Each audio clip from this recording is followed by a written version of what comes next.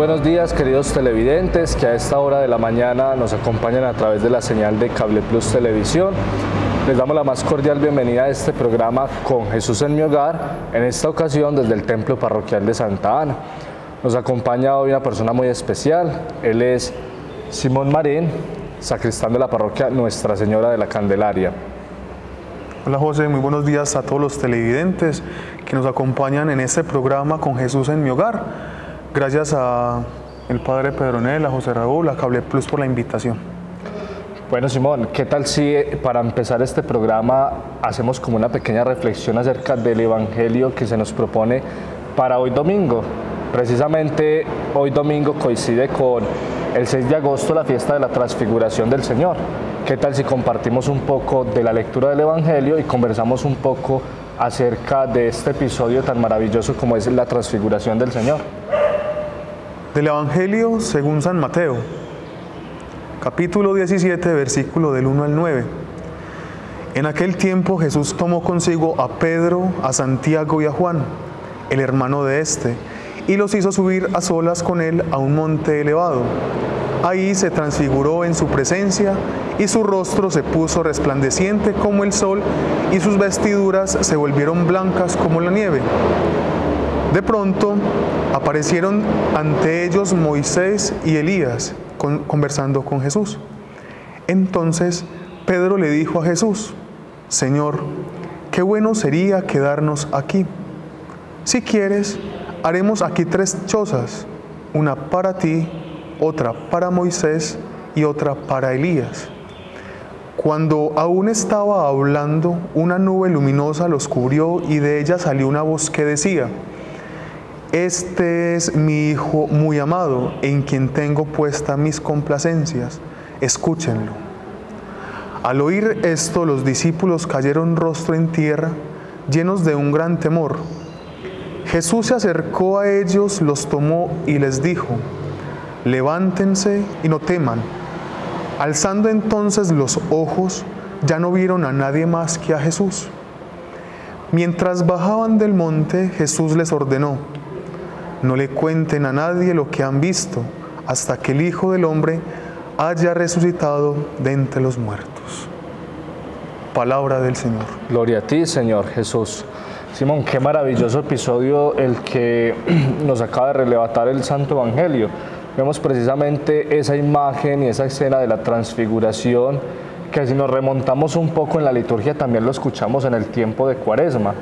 Así es, José, es una cita bíblica que muchas veces nos ayuda también a entender cuál es ese episodio de nuestras vidas, que muchas veces también nos transfiguramos con Jesús aunque somos esos discípulos rebeldes, aunque somos esos discípulos que solamente estamos ahí por estar, pero el estar con Jesús nos ayuda a interiorizar nuestras vidas, a interiorizar con los hermanos. Precisamente vemos cómo inicia el Evangelio diciendo que tomó consigo a Santiago, a Pedro y a Juan.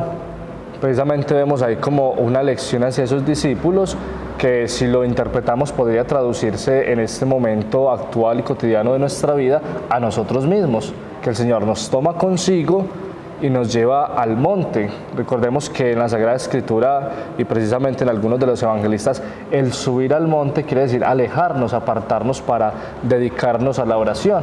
Vemos también cómo esa invitación se nos remonta también a nosotros, que el Señor nos toma, nos invita a que nos apartemos a la oración y a que veamos precisamente ya no lo vemos así tan vislumbrante como lo vieron los discípulos ahí en el momento de la transfiguración, sino que ya es el mismo el que nos invita a través del mensaje de su palabra a transfigurarnos nosotros también. Así es, José, y para ustedes, queridos televidentes, ¿qué enseñanza le queda a este santo evangelio que hoy domingo en todas las Eucaristías estamos escuchando? ¿Cómo está su corazón? ¿Cómo está su vida? Jesús te está llamando, pero tú estás respondiendo.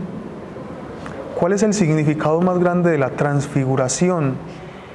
Estamos acompañando a Jesús en esos momentos donde está pidiendo a gritos, donde está pidiendo de nosotros ser intercesores en medio de Él. Claro que sí, ahí vale la pena resaltar también que así como el Señor se transfiguró, es una invitación a nosotros también trascender. ¿Por qué?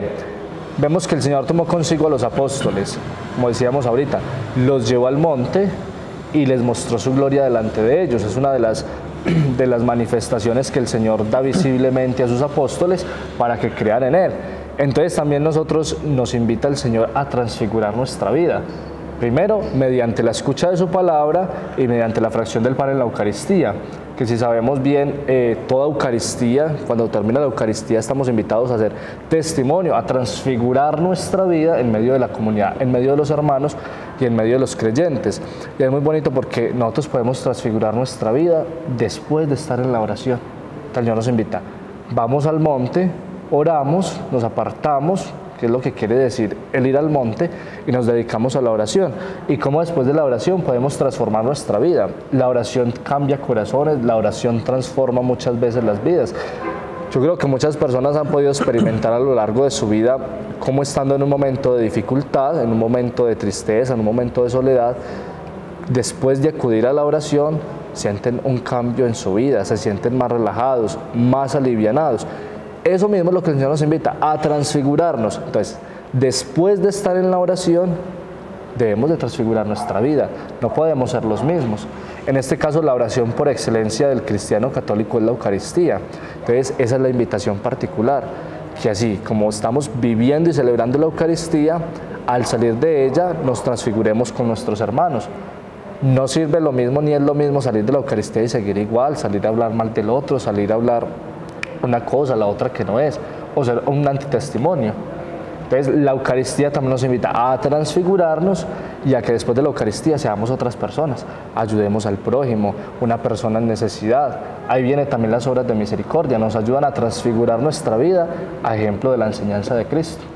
Así es, José, y es muy importante que entre tantos discípulos Jesús no dijo, ¿quién quiere acompañarme?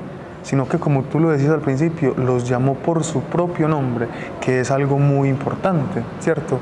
Y como tú dices, José, el testimonio de vida es lo que nos ayuda a crecer como personas. Entonces, así que queridos televidentes, los invitamos para que en nuestras casas, con nuestras familias, con nuestros hijos, con nuestros esposos, esposas, tomemos esta lectura y si es posible hacer una lectio divina en nuestro hogar, hagámoslo después del programa, en el recorrido de esta semana. Así que intentemos recopilar este santo evangelio que tanto nos ayuda, que tanto manifiesta nuestra vida y que podemos sacar muchos ejemplos, José. Claro, ya el evangelio no se queda en Pedro, en Santiago y en Juan. Ya se queda en Jonathan, en Simón, en José Raúl, en Ana, en Joaquín, en todos, en cada uno. Ya nos llamas a cada uno por nuestro propio nombre a que hagamos vida ese evangelio y a que transfiguremos no solamente nuestra vida, también parte de nosotros depende de la transfiguración de la vida de los demás, porque nosotros con nuestro testimonio podemos ser ejemplo. Muchas veces mm, la gente no ve otra predicación más que nuestro testimonio. Claro, así es, y también de nuestro testimonio vienen las personas que de pronto ven en nosotros un antitestimonio por diferentes circunstancias pero es la realidad en la que estamos viendo hoy en día, como lo vio Jesús. Claro que sí, Simón. Entonces, a nosotros transfigurar nuestra vida y al transfigurar nuestra vida ejemplo de Cristo y siguiendo esas enseñanzas como lo hablábamos ahora, mediante las obras de misericordia, mediante la vivencia del Evangelio, ayudamos también a transfigurar la vida de los demás. Qué bonito es cuando nosotros tenemos no de lo que nos sobra, sino lo que nosotros tenemos, que hay veces nos hace falta, pero que podemos compartir con quien lo necesita. Eso es transfigurar la vida de los demás. Yo creo que todos hemos experimentado cuando una persona en necesidad nos pide, bueno, una ayuda, un favor, una persona que está en una situación difícil, pasando por una dura prueba, nos pide una palabra de aliento, un consejo. Nosotros con lo que le digamos, con lo que le ayudemos, ayudamos a transfigurar la vida de esa persona porque esa persona va a ver en nosotros el reflejo de Cristo y va a ver que mediante ese reflejo de Cristo nosotros estamos dando y, haciendo la vivencia del mismo Evangelio. No vale nada escuchar el Evangelio si no lo ponemos en práctica. dice el apóstol San Pablo que la fe sin obras está muerta. Y más adelante dice que muéstrame tu fe por las obras, que yo por mis obras te mostraré mi fe. Entonces, es eso, transfigurar nuestra vida. Ya el Señor nos llama a cada uno a transfigurar nuestra vida con, nombres propios, pero también transfigurando nuestra vida, que ayudemos a transformar la vida de los demás. De los demás. José, creo que es muy importante todo lo que hemos dado como un resumen de este santo evangelio. Así que también lo invito, José, para que nosotros juntos, los televidentes y todos aquellos, comencemos a manifestar esas obras de misericordia, son 14, pero se parten las espirituales y corporales. Así que es hora de que nosotros como cristianos católicos podamos refortalecer y fortalecer todo aquello que en las personas aman, quieren y desean. Claro que sí. Y para terminar como esta parte, Simón, yo diría que todos los episodios que nos muestra el Santo Evangelio se resumen en uno. Y el Señor lo decía también que todos los mandamientos se resumen en uno, en amar al prójimo como a sí mismo. Entonces, es eso, todos los episodios que el Señor nos muestra transfigurándose, haciendo pues ahí como un paralelo con las bodas de Caná, cuando sanó al ciego de nacimiento, cuando resucitó a la hija de Jairo, cuando resucitó a Lázaro.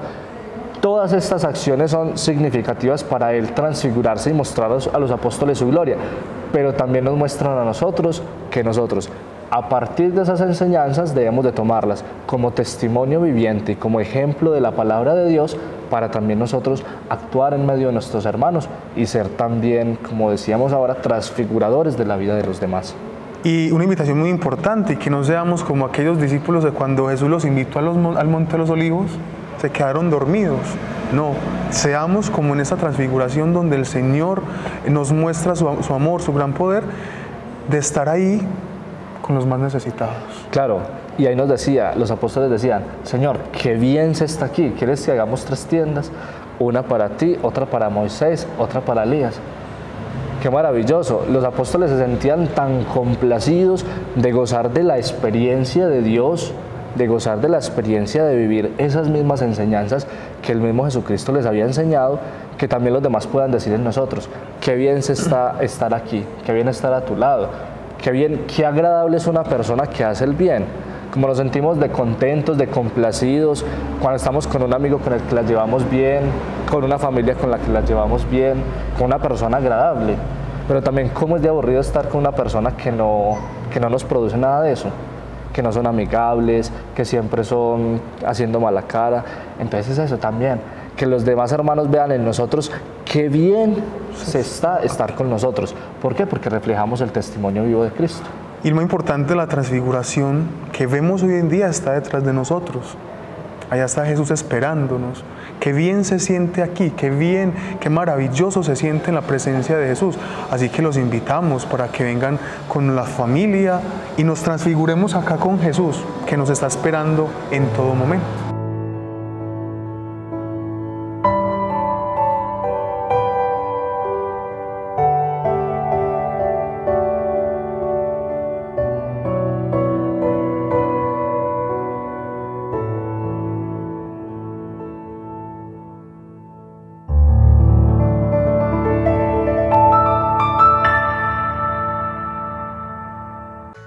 Cable Plus Televisión nos interesa conocer tu opinión sobre nuestra empresa.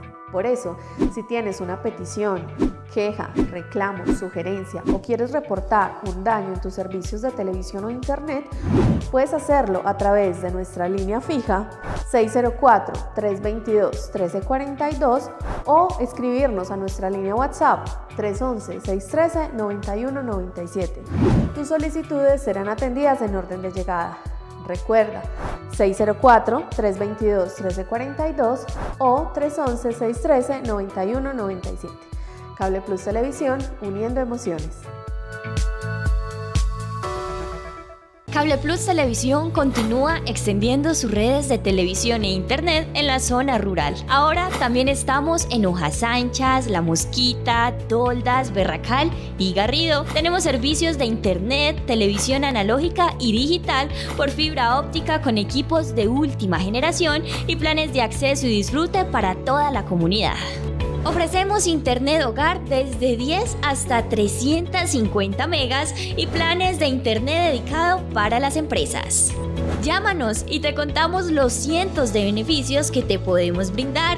604-322-1342 y 311-613-9197. Recuerda, 604-322-1342 y 311-613-9197. Cable Plus Televisión, uniendo emociones.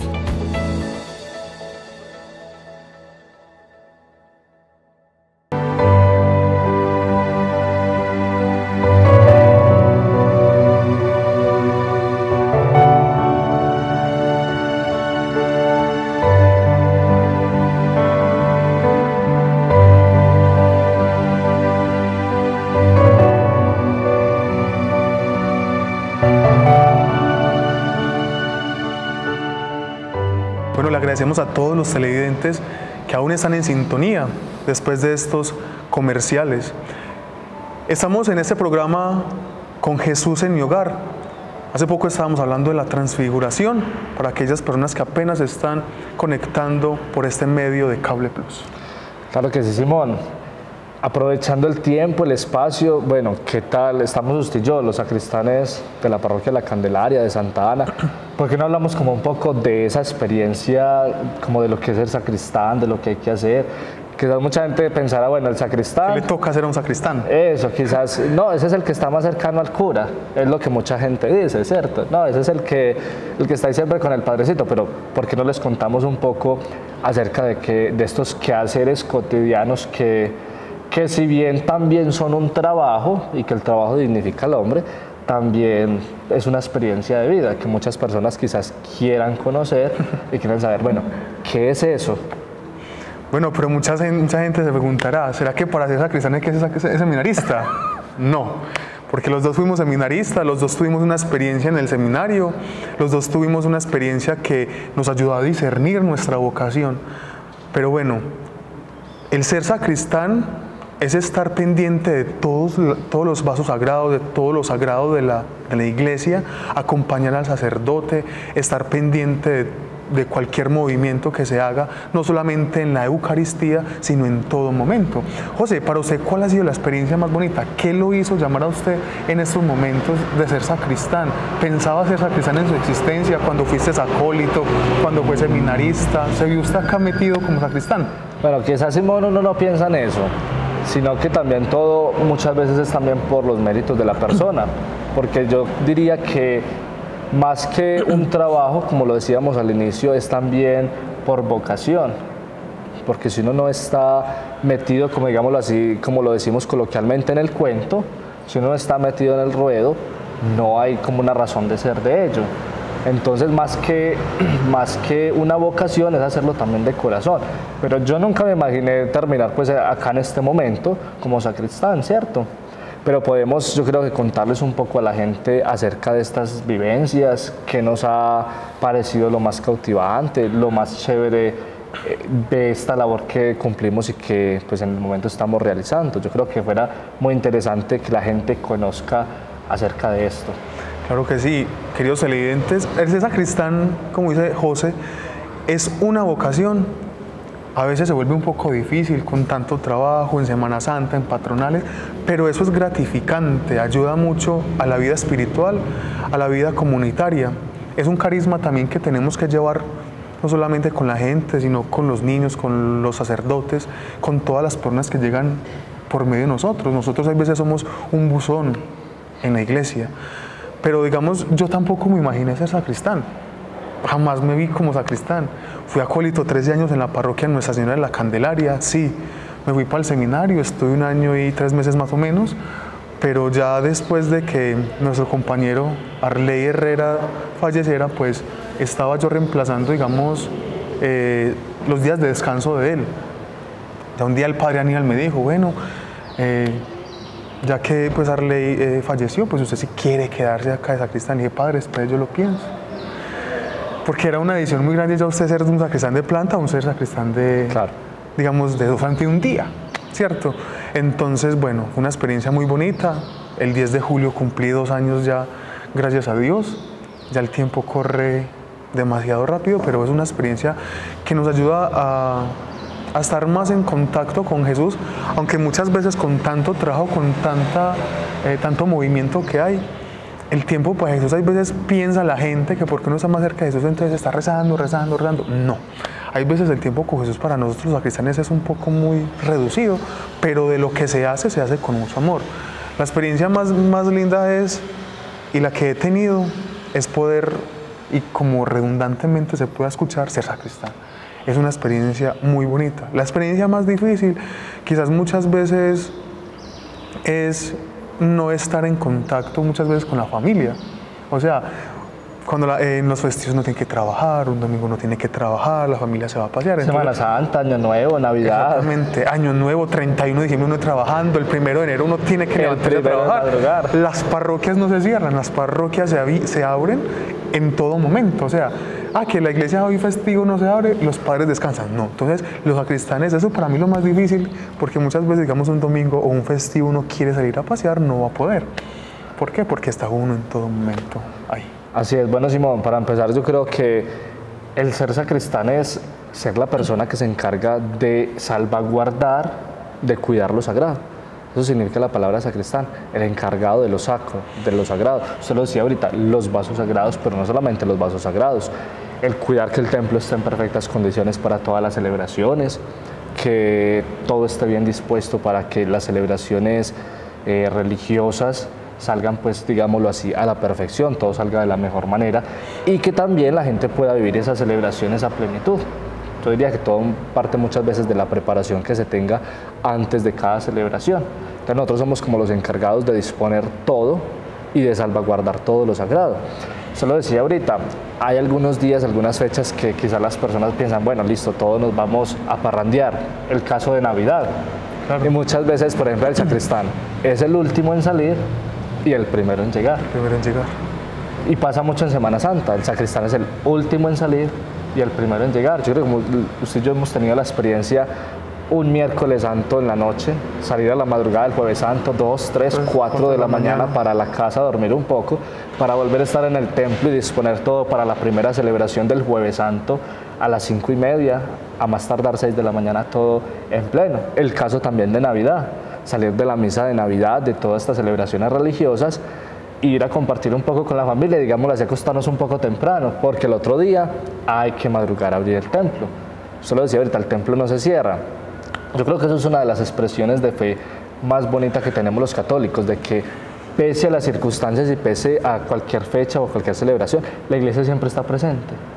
Entonces, sabemos que la gente le gusta madrugar a la Eucaristía, están los que les gusta trasnochar, y ahí viene entonces también lo que usted decía de la vocación del servicio, porque hay gente, por ejemplo, la gente que le gusta quedarse a determinadas horas a rezar el templo cuando uno ya está cansado, cuando quiere salir a descansar después de la última Eucaristía del día. Pasa mucho. Yo creo que unas veces es apagando las luces o cerrando una puerta como para que la gente, entienda, que, estamos cansados y queremos irnos a descansar. Pero también nosotros comprendemos que lo que para nosotros es la última Eucaristía, que puede ser 10, 12 Eucaristías en el día, que para nosotros es la última, y el último espacio pues de oración para la gente muchas veces que quizás trabaja o descansa en el día es la única oportunidad de encontrarse con Dios. Entonces también es como una vocación de servicio a la comunidad y usted también lo mencionaba ahora un canal, porque muchas veces viene a preguntar, bueno, ¿a qué horas es esta celebración? ¿A qué horas me podrá atender este sacerdote?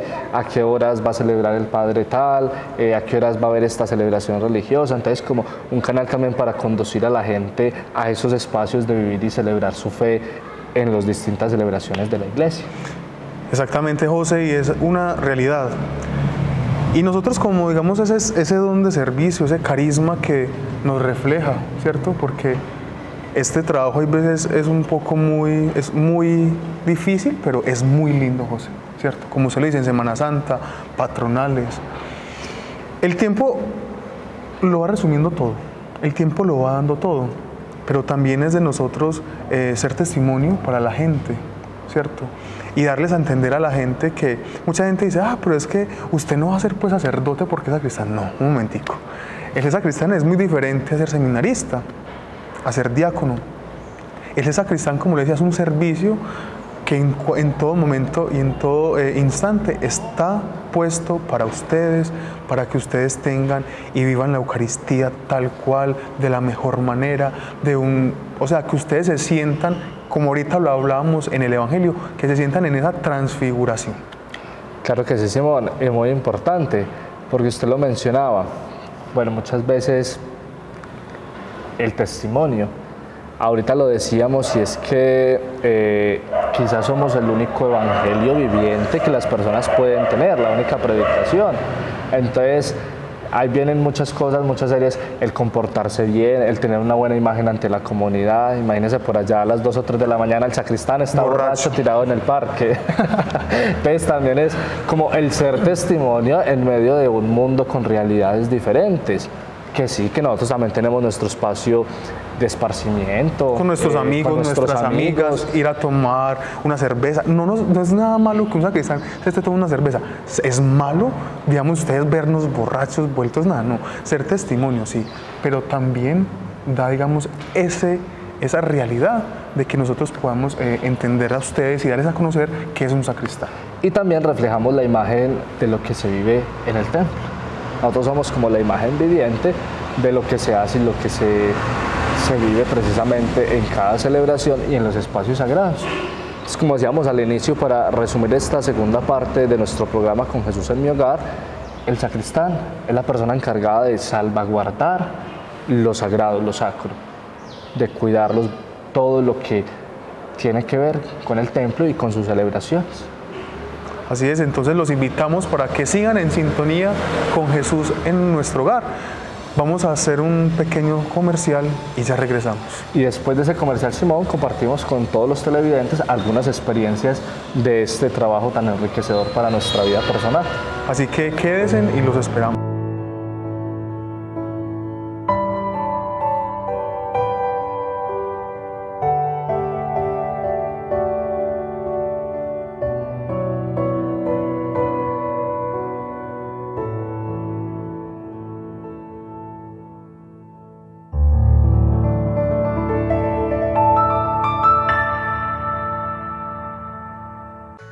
Cable Plus Televisión nos interesa conocer tu opinión sobre nuestra empresa.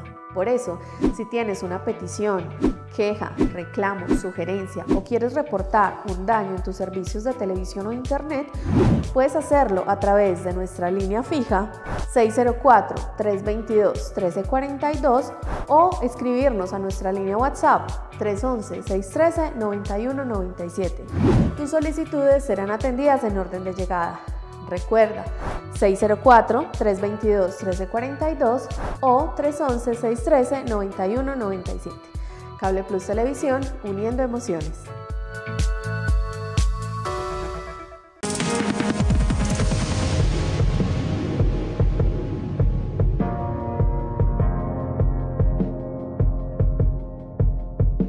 Este año, Cable Plus Televisión te ofrece más de 80 canales para todos los gustos, canales de entretenimiento, novelas, deportivos, películas, series, cocina, infantiles, religiosos, informativos, documentales y musicales. Recuerda que somos el único operador de televisión que no necesita de codificadores, televisores modernos ni especiales y por esto podrás disfrutar de nuestros canales en tus televisores sencillos o barrigoncitos. Comunícate con nosotros para brindarte más información. Llámanos al 604 320 1342 o al 311-613-9197. Recuerda, al 604-322-1342 o al 311-613-9197. Cable Plus Televisión, uniendo emociones.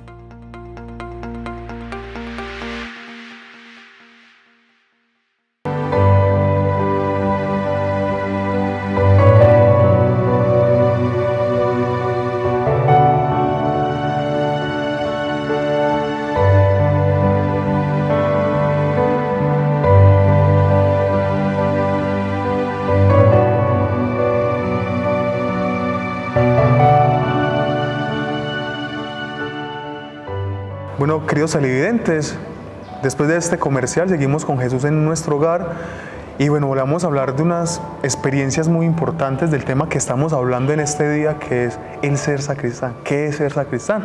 Vamos a hablar de unas experiencias, José, experiencias enriquecedoras, experiencias que nos tocan el corazón, experiencias que a veces nos llenan un poquitico de impaciencia, pero esas experiencias que la gente en ese momento se den cuenta, que muchas veces no lo ven, pero se siente.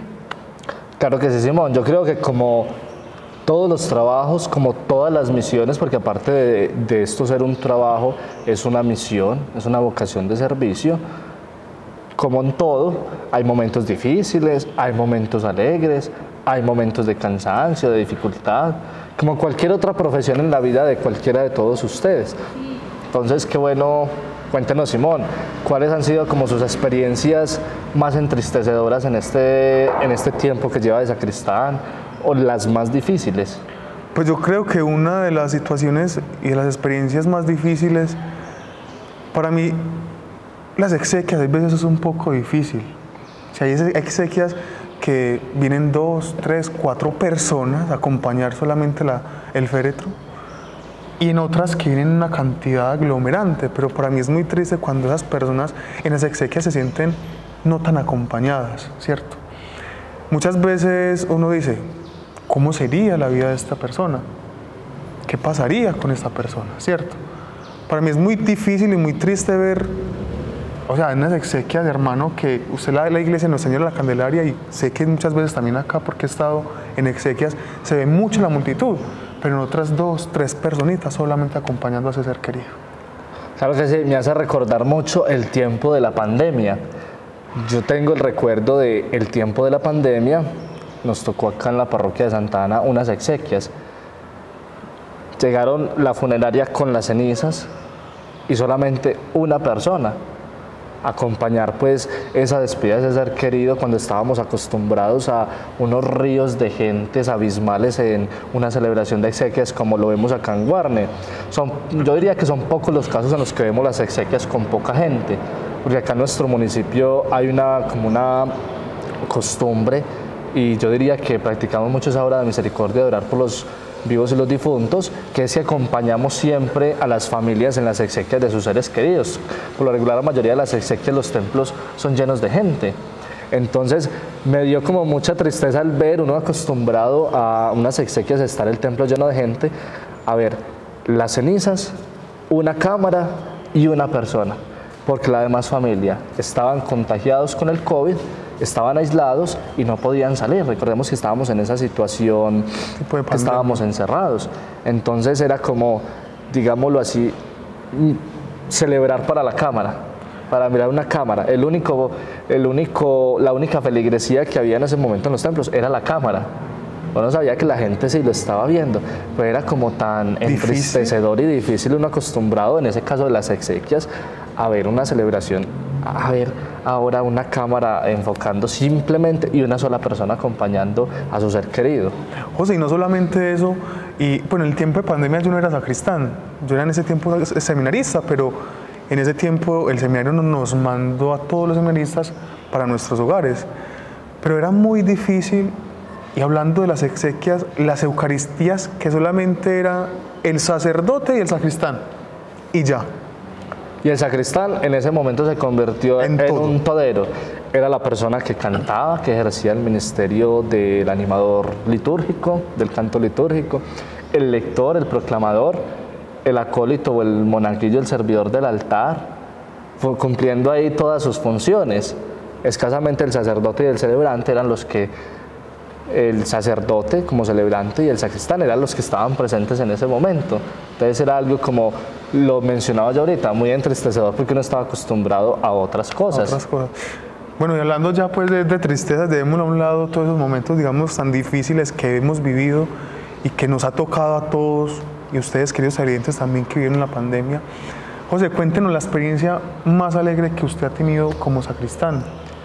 Bueno, eh, gracias a Dios mm, me correspondió o nos tocó vivir acá en la comunidad parroquial la dedicación del templo ahorita el pasado 19 de marzo. Una experiencia, 20 de marzo, perdón, muy enriquecedora porque es una celebración que solo se vive en el momento de la dedicación de un templo. Y una dedicación de un templo no es cada año, cada dos, cada tres años, no por allá cada 10, 15, 20 años.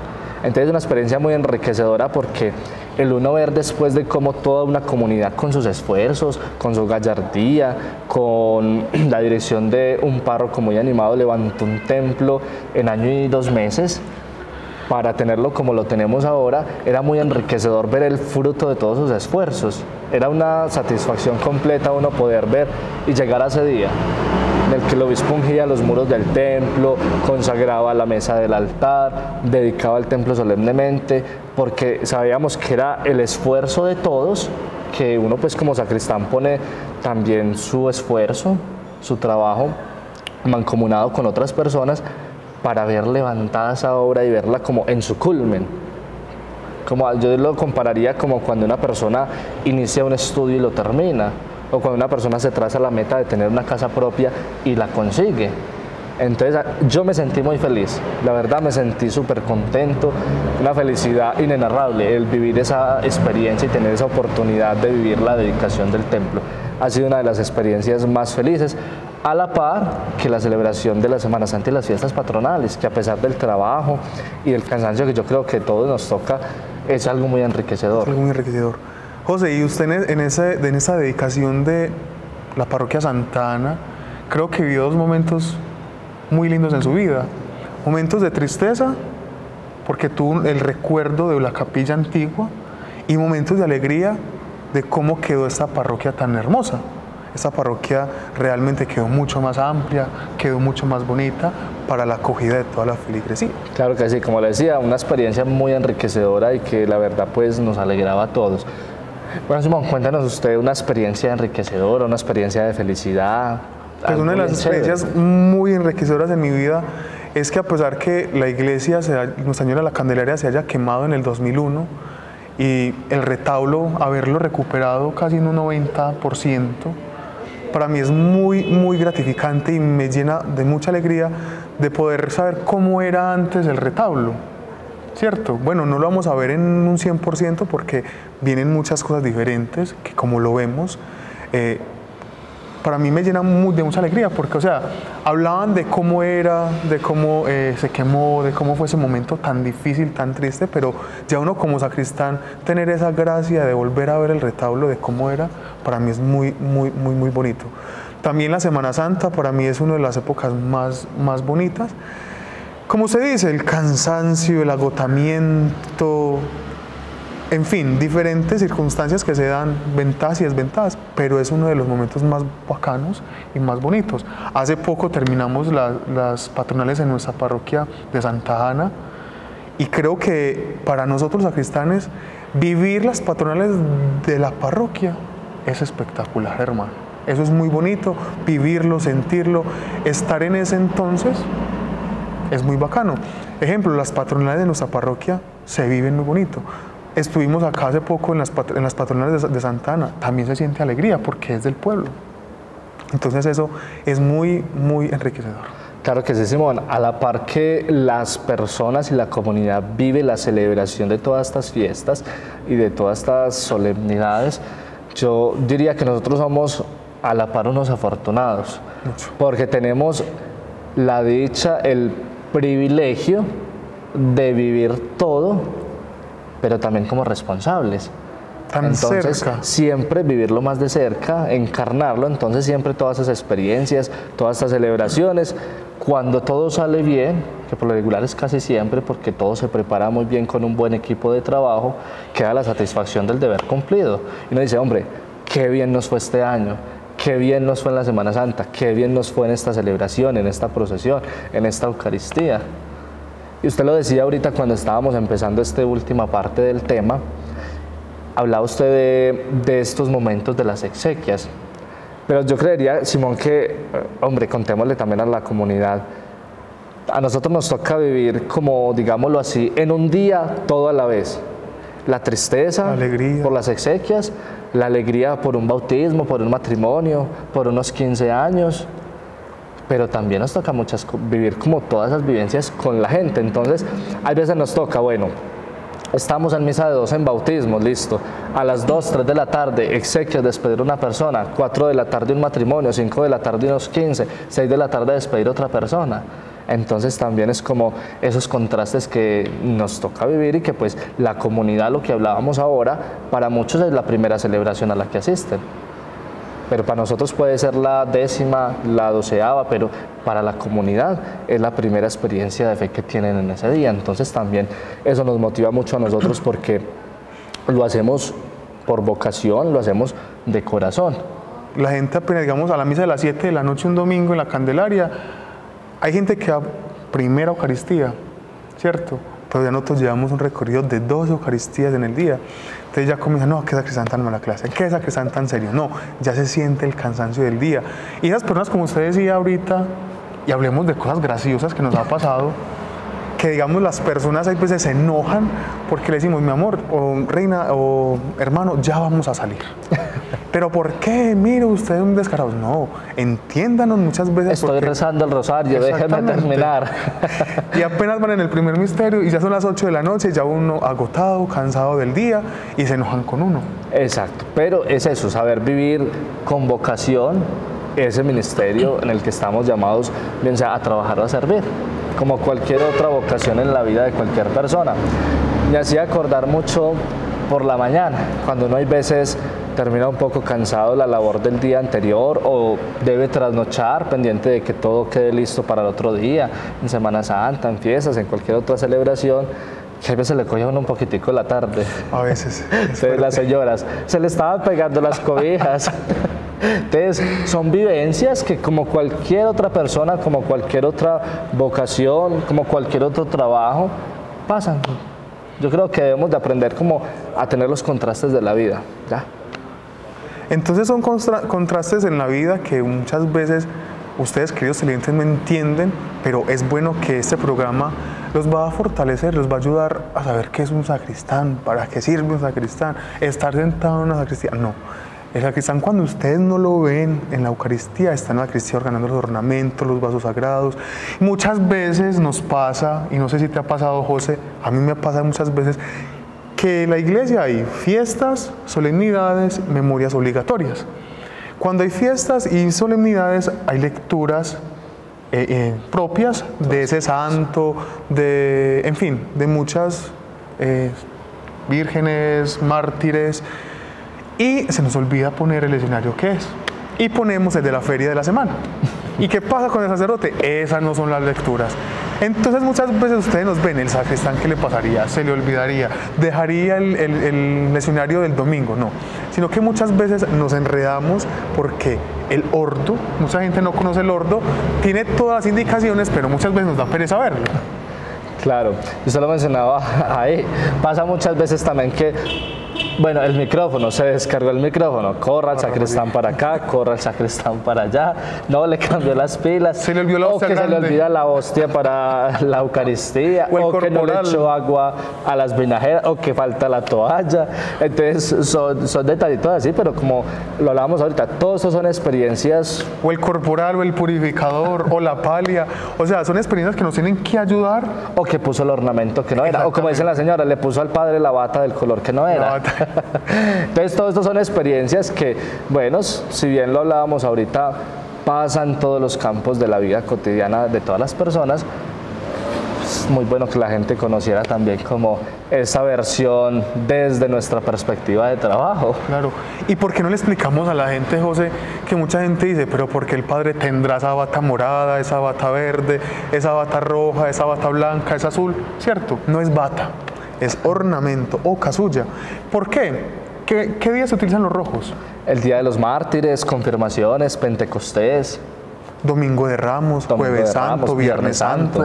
El morado. En exequias, tiempo ordinario, cuaresma, aniversarios de fallecimiento. Adviento, que ya dentro de poco vamos a ver el ornamento. Los verdes, el color verde. En el tiempo ordinario, el color de la esperanza. Exactamente, tiempo ordinario, que son 34, 35 semanas en las cuales nos van a ver al sacerdote con el ornamento eh, verde. ¿El ornamento blanco para qué se utiliza, eh, José? Lo utilizamos para todas las celebraciones, como son las solemnidades de los santos, del Señor, de la Virgen María, aunque la Virgen María tenemos el privilegio de que se puede utilizar el color azul. Entonces también para las fiestas patronales, 40 horas, todas las celebraciones, Jueves Santo, Pascua, Navidad.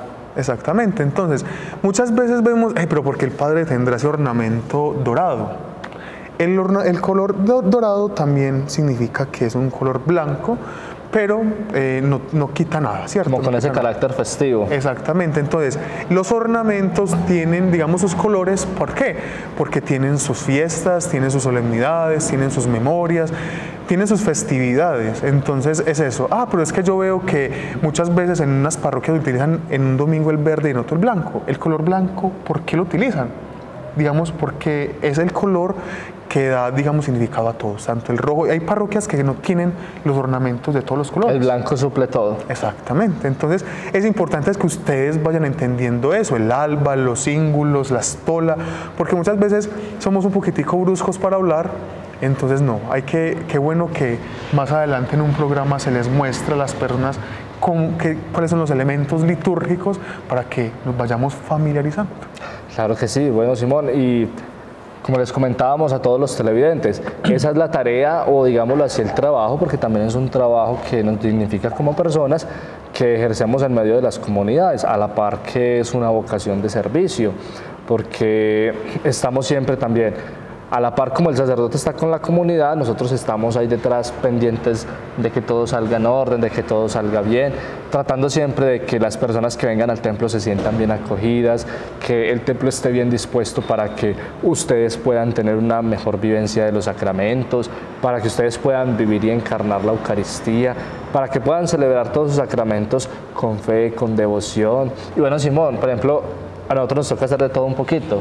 Cuando nos toca cantar, Hay veces es un poco difícil, ¿no? La- el primer canto en la mañana es lo peor, ¿cierto? Porque que llega uno cansado, llega uno, mejor dicho, Y sí, bueno, como decíamos ahorita, son muchas experiencias de fe que, y de vivencias de nuestra realidad que queríamos compartir con ustedes, que a veces se nos hace corto el, te- el tiempo para contar, para contarles a ustedes qué es todo lo que realizamos, pero queríamos como que ustedes supieran un poco de nuestro quehacer, de qué es el sacristán y qué es lo que en realidad hacen en cada una de las comunidades. Creo que sí. Y una invitación muy grande a todas las personas para que cuidemos el templo, para que no echemos las basuras en el templo. Así que Los chiclecitos en los las chicleticos bancas. en las bancas, los pañales. Me ha tocado en la parroquia, la canderería, cuando hacemos aseo, sacar pañales. O sea, no, cuidemos, amemos nuestro templo como si fuera nuestra casa. Así que, José, muchas gracias por la invitación. Gracias a Cable Plus también por este programa en el cual nos invita y Y gracias a toda la comunidad por vernos y por preferir también la señal de Cable Plus.